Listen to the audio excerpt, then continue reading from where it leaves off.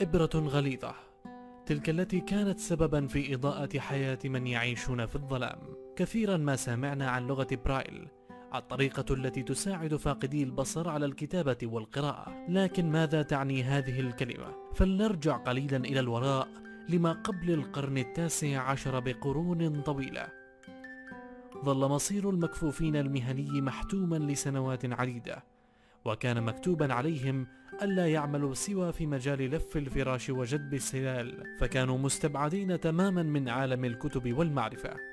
وللتعبير عن أفكارهم على ورق كانوا يفتقدون إلى أهم وسيلة وهي الكتابة. بطريقة يستطيعون قراءتها وكتابتها حتى جاء القرن التاسع عشر حاملا معه الخلاص. فقد تمكن من تغيير هذا الوضع بالكلية صبي في السادسة عشر من عمره. إنه بطل قصتنا اليوم لويس برايل. طور برايل عام 1885 نظاما للكتابة يستخدم حتى اليوم في جميع أنحاء العالم كوسيلة كتابة للمكفوفين. ولد لويس برايل في مدينة صغيرة في شرق باريس تدعى كوب فراي في الرابع من يناير لعام 1809 كان طفلا فائق الجمال ذو عينين جميلتين يحسده كل من رآه. وكان على درجة من الذكاء ولديه حب استطلاع كبير بالنسبة لسنه كطفل صغير. وبينما هو يساعد والده ذات مرة في عمله الذي كان عبارة عن تصنيع سرج الخيل واللحام أخذ إبرة كبيرة ومطرقة وقطعة من جلد ووضع قطعة الجلد على الأرض وثبت عليها الإبرة وأخذ يطرق عليها بالمطرقة. محاولا إدخال الإبرة في الجلد.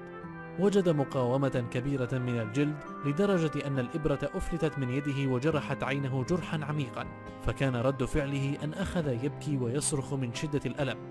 وكان الجرح قد تسبب في التهاب العصب البصري مما أودى به إلى أن فقد بصر عينه اليسرى. ولما بلغ سن ثلاث سنوات أصاب الالتهاب عينه الأخرى فأصبح كفيفا تماما.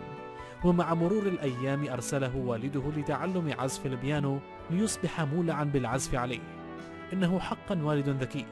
فقد احتوى مرض ابنه دون أن يجرح مشاعره. ولما بلغ بطلنا سن ثمان سنوات أصبح مشهورا في المعهد القومي للعميان في باريس. وكان نابغا في الموسيقى بجانب تفوقه الملحوظ في الرياضيات والعلوم والجغرافيا. وكانت طريقة تدريس القراءة للمكفوفين في المعهد بلمس حروف كبيرة من المعدن كانت تقطع وتلصق على الورق. وكان الأطفال يتعلمون لمس الحروف المعدنية بالأصابع ليتعرفوا على أشكالها. أما برايل فكان يؤمن بأن هذه الطريقة غير عملية لأن طول الحرف كان يبلغ حوالي ثلاث بوصات بالإضافة إلى أنها كانت ثقيلة جدا مما دفعه إلى أن يقضي وقتا طويلا يفكر بينه وبين نفسه. فلا بد من أن يكون هناك طريقة أفضل. استوحى برايل نظام الكتابة من ضابط بالجيش الفرنسي الذي قام بتصميم نظام للقراءة ليتمكن بواسطته أفراد الجيش من تداول التعليمات والأوامر المكتوبة وذلك في أثناء الظلام. ويعتمد هذا النظام على عمودين من النقاط البارزة. في كل عمود ست نقاط تقرأ عن طريق اللمس. ولكتابة هذه النقط فقد صمم لوحا ومرقم ويقوم استخدامها على نفس الأسس التي تقوم عليها كتابة برايل الحالية. بدأ لويس بالعمل وكان مصرا على أن يصل إلى هدفه فاستخدم أقل عدد من النقاط بحيث تكون وسيلة سهلة للتعلم.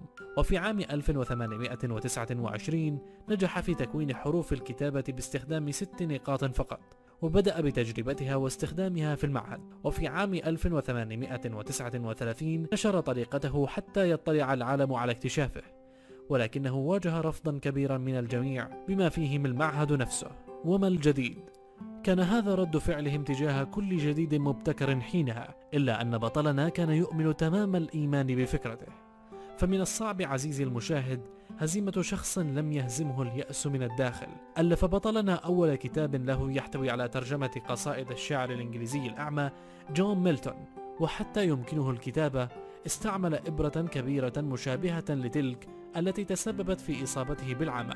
إنه القدر مرة ثانية.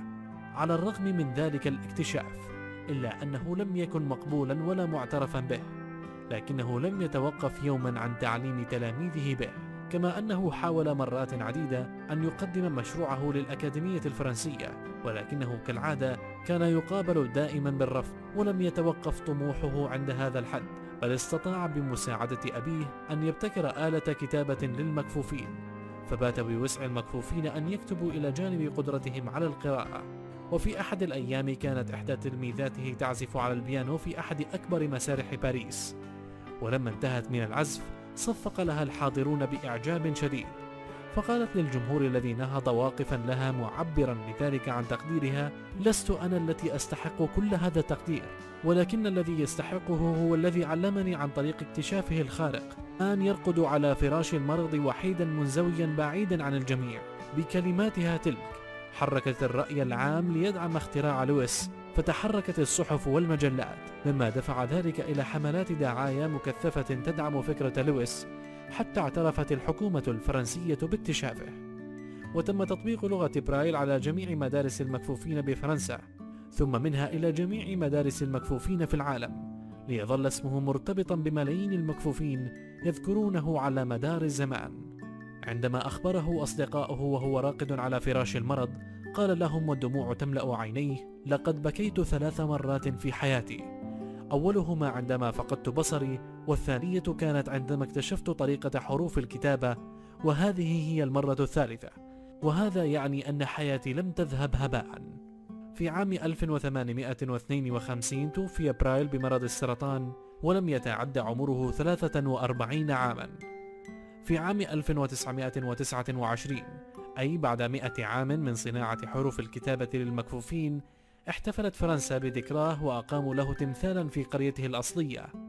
وعندما أزيح الستار عن التمثال رفع المئات من المكفوفين أيديهم ليتمكنوا من لمس وجه الرجل الذي أنار لهم الطريق. وحتى اليوم ما زال اختراعه يشهد له بالبقاء حتى يومنا هذا. لقد ترك كنز المعرفة للملايين من بعده.